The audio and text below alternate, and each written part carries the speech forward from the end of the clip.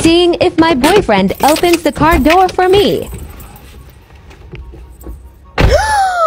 no, I know he did not just do that. Isaac Cervantes Valencia, you better get back in this car and. Are you kidding me right now? Are you joking? He really pressed the. No, no, you're kidding.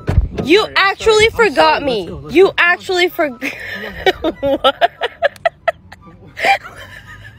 Why you got my purse? So you can get out.